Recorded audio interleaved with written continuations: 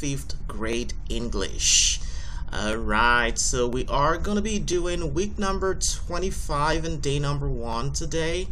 And that's going to be another reading and comprehension lesson that we are going to do. Um, so the format is this. So we are going to be reading a story to you and you get a chance to follow along with us.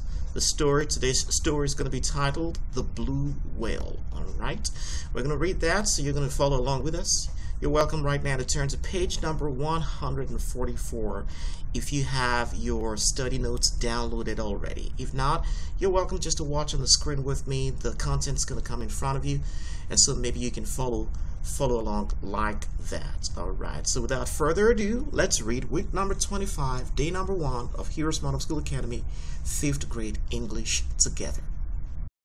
In the beginning, God created the world and all the creatures that inhabit it. He created the birds of the air, the fish of the sea, and the animals of the land. But of all the creatures he created, there was one that stood out above the rest, the mighty blue whale. The blue whale was the largest animal that had ever lived. It was so big that it could reach lengths of up to 100 feet and weigh as much as 200 tons.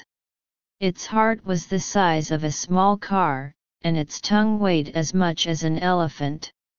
The blue whale roamed the oceans, swimming thousands of miles every year. It was a creature of great power and strength, feared and respected by all who encountered it. But despite its size and strength, the blue whale was also a creature of great gentleness and grace. It swam through the water with a sense of peace and tranquility, never harming any of the smaller creatures that swam alongside it. As the blue whale moved through the vast expanse of the ocean, it seemed to be at peace with the world around it. It was a reminder of the beauty and majesty of God's creation, a symbol of His power and might. And as people looked upon the blue whale, they were filled with awe and wonder. They marveled at the size and strength of this magnificent creature, and they knew that they were in the presence of something truly great. For the blue whale was not just an animal, but a living testament to the glory of God.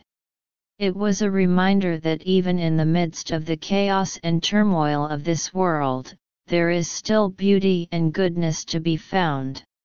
And so, as the blue whale continued to roam the oceans, it carried with it a message of hope and faith, a reminder that God is always with us, guiding us, and protecting us, no matter where we may go.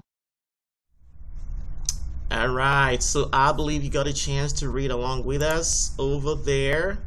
Um, so we are gonna go right now to try to answer a few questions. We're gonna turn to page number 145 to answer a few questions over there.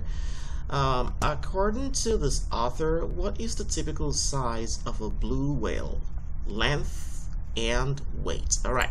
So I believe the answer is going to be somewhere here. If you were to go to paragraph number two, the blue whale can reach up to 100 feet. That's the length of it and weigh as much as 200 tons. All right, so that's going to be answer. Try to write, write your answers as complete sentences because you're in fifth grade right now you're trying to graduate so please and please try to do that all right question number two let's go back right now to question number two uh, question number two all right which part of the whale's body could be the size of a small car well we're gonna see right there its heart was the size of a small car okay question number three uh, three even though magnificent, the blue whale exemplifies true humility and peace. Is this true or false? Correct. It's true. We're going to see over there in paragraph uh, number one, two, three, four, five, and 6. You're going to read it over there. You're welcome to write additional things to it. Add additional things to your answer. Question number 4. What did you learn from today's story? Well, there is a critical lesson over here that we want to make sure we do not forget. It says, um, as the blue whale continues continued to roam the oceans, it carried with it a message of hope and faith, a reminder that God is always with us, guiding us and protecting us no matter where we may go. So I'm hoping that you can learn that lesson from the tranquility of the blue whale, how peaceful it is, even though it is a creature of great size and potentially great strength as well. But it's, it's so peaceful, doesn't doesn't bother all the creatures that are swimming around it in the vastness of the oceans over there. All right, so hopefully you you learn that you know that's a that's a sense. It brings a message of hope and faith that God is with us. All right, so we're gonna go right now to talk about a few uh, words that we may not have heard of before that you may want to look up in your dictionary. So words like oh, have you heard that? Oh, well, that's where you get awesome from. what about words like roam? You might have heard that before. Magnificence, testament. So let's look at two words right now from dictionary.com. We're going to go to dictionary.com. Let's type in the word awe. It's A-W-E. Awe. And its pronunciation is going to be like this. Awe. You see that? Awe. Awe. Awe, okay? It means it's a noun, an overwhelming feeling of reverence, admiration, fear, all right, etc., produced by that which is grand, sublime, extremely powerful, or the like, in awe of God, in awe of great political figures, all right, overwhelming feeling of reverence, okay?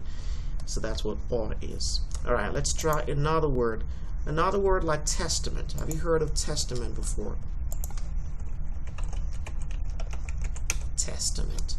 Well, testament can be used as, um, in terms of law, like a will. Okay? Uh, like the New Testament or Old Testament, two major sections of the Bible. But more important than that, I want to say it's a proof.